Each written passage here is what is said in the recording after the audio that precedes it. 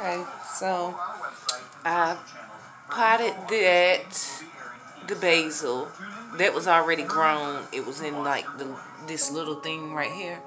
But I took some seeds that I had in here and put in this. Okay?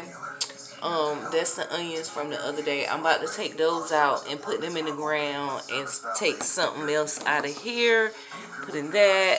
And some seeds from here and that. And then we got that was like that one. It was in one of these little things.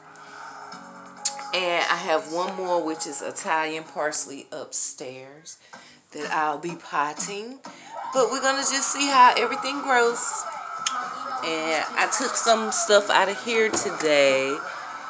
Um, couple of things out of here and planted outside that had done grow that I showed y'all over the weekend. Which, you know, that's how it starts out. And then it got bigger. And when it started hitting the top of this plastic, is when I put it in the ground outside. Okay, so I'll let y'all um go and we'll talk about gardening some more. I got some more seeds, all kinds of stuff up in here. So I'm just waiting for it to sprout a little bit to put outside. But I think I'm um after that grows, I'm gonna put that outside. But those I'm gonna keep in the house. And my parsley, I'm gonna keep in the house. Okay, talk to you later. Bye.